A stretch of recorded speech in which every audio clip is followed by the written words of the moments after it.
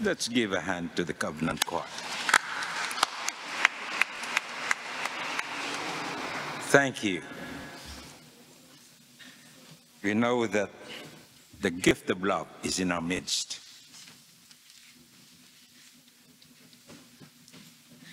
Let us pray. Come, Holy Spirit. Touch our hearts, touch our minds, so that we can continue to serve you and serve Jesus Christ, who is the gift of love. Amen.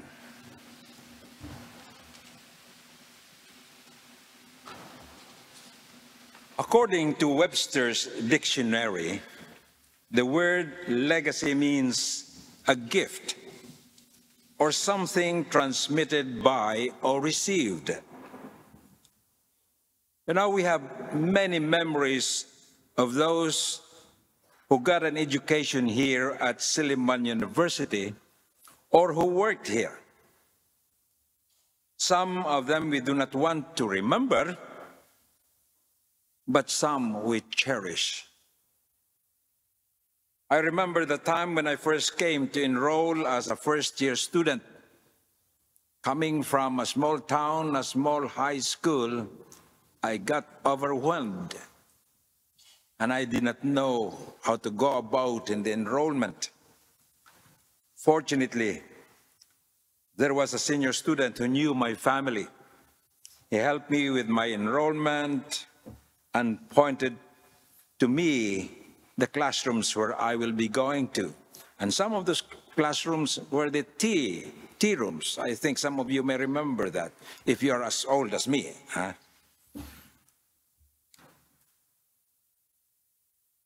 Some of you may remember sitting with friends at the amphitheater out there, sharing stories.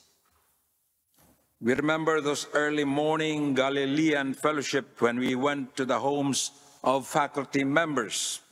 Now, for us students who live in the dormitory, it was a treat.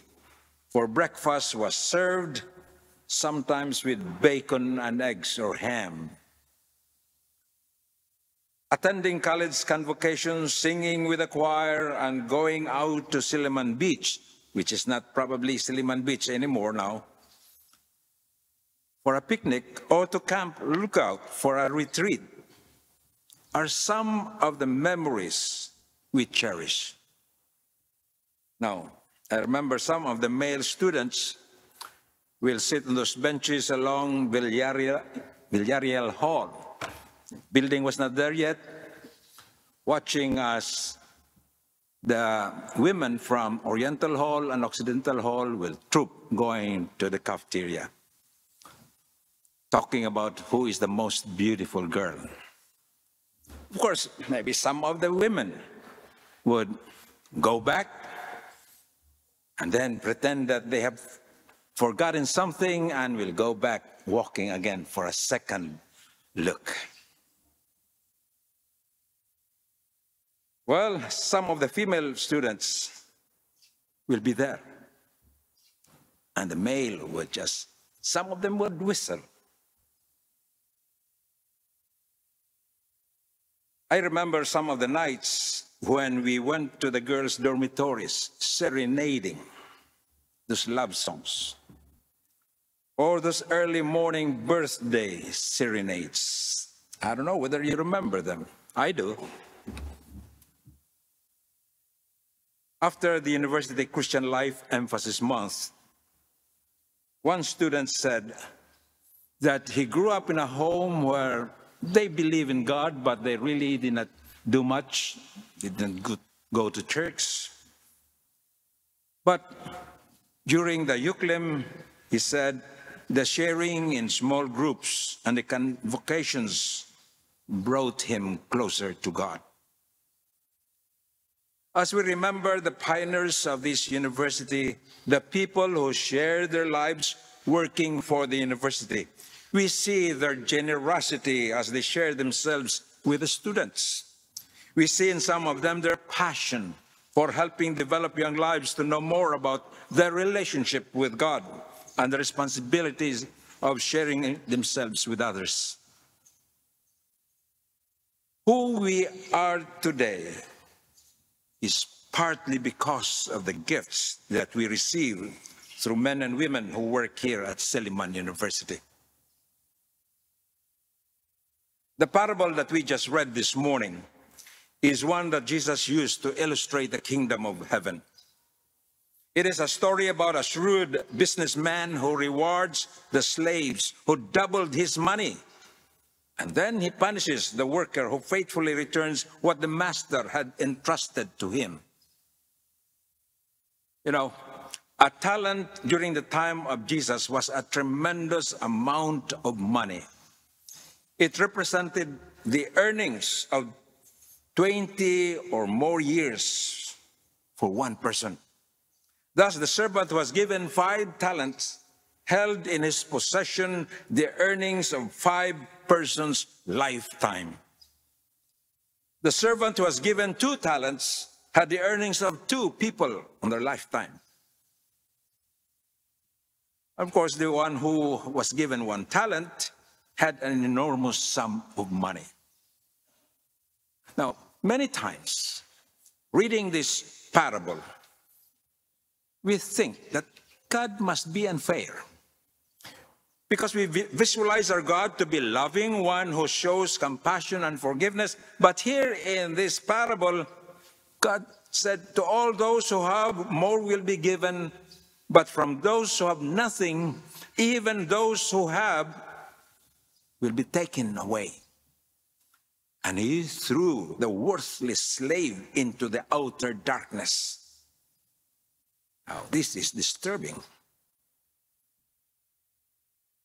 However, if we look closely at the context of the story, this parable is not about a harsh man who takes from the poor and gives to the rich. It is not about shrewd financial investing. Instead, it is about discipleship. This parable tells us that God has given us all we need according to our ability, as what the parable said. And whatever God has given us, our education at Silliman University helped develop those God given gifts. One alumna said, Now that I'm working, there are things that remind me of being a Sillimanian. When I see corruption in our office, I remind myself I have to stand up and tell them about it. A Harvard psychologist named Howard Gardner tells us that we have been studying IQ all wrong. Howard Gardner tells us that our intelligence tests, we only measure one or two forms of intelligence. Gardner says that there are actually seven forms of intelligence. Some people are gifted with linguistic intelligence, and these are the writers and the poets. Some are gifted with logical and mathematical intelligence, and they make good accountants and scientists. Some people are gifted spatially, and these are the artists and architects. Some are gifted kinesthetically. Their bodies are unusually graceful and coordinated. These are the athletes and the dancers. Others are gifted interpersonally. They instinctively know how to get along well with the people around them. And these are the salespersons, counselors, teachers, and I would add pastors. Some are gifted in their ability to look within. These are the philosophers. And some are gifted musically. And so we have the choir, we have the organist, we have the pianist, keyboardist. What kind of worship we have without music? All of us are gifted. All of us have what we need to succeed. God has created us differently so that different tasks will get done in this world. And we hope that Silliman University has helped us develop these God-given gifts. And this parable tells us that it is not important what our gift is, but what we do with what we have. The servant with one talent had the same opportunity as the one with the five talents, but he chose to bury his talent in the ground. That is the worst thing we can do with our gift. Tony Campolo told of meeting a woman who uses a wheelchair. Although Nancy had a handicapping condition, she developed a unique ministry to people who were lonely and hurting. Nancy ran ads in the personal section of the newspaper that read, If you are lonely or have a problem, call me. I am in a wheelchair and I seldom get out. We can share our problems. Just call. From that simple ad, Nancy claims that she receives at least 30 calls each week from people who need someone to talk to and to listen to their problems. Nancy has become someone for hundreds of people with problems to lean on. Giancarlo Menotti said, Hell begins on the day when God grants us a clear vision of all that we might have achieved, of all the gifts which we have wasted, of all that we might have done which we did not do. For me, said Menotti, the concept of hell lies in two words, too late. I pray that when we look back, we do not say it is too late. Rather, we can say the traditions we got from Silliman University are part of who we are today. In one of our Bible studies, one of the students shared with the group that she was still a freshman here. She was new in the Magere. And her uncle came to visit her, but her uncle got sick. He was brought in the hospital, and her uncle died. It was too much for a freshman student. But then he said, my Bible study group supported me and help me go through those times. Yes, this parable also tells us that if we use what we have to the glory of God, God will take our meager gifts, multiply them, and use them in ways we never dreamed possible. You heard this before. Our life is God's gift to us. What we make of our life is our gift to God. But I believe that is not the end of the equation. God takes what we offer and adds even more.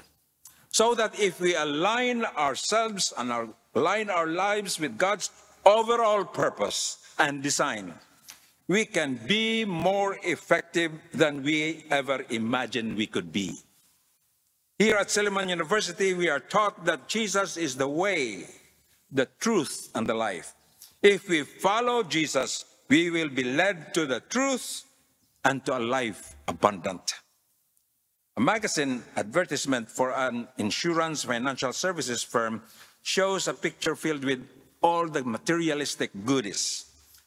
A beautiful house, an expensive car, and the caption boldly claims, if you can dream it, you can do it. Then a subcaption whispers, there is no limit to your ability. Well, I think this is not true. I believe that there is a limit to our ability. And we cannot do everything we dreamed about. Now, how many of you have dreamed of being a professional basketball player when you were young? For the men and women too. I did. But I found out that I could not be a basketball player. That is where our faith comes to correct the picture and bring the excitement the ad promises to life.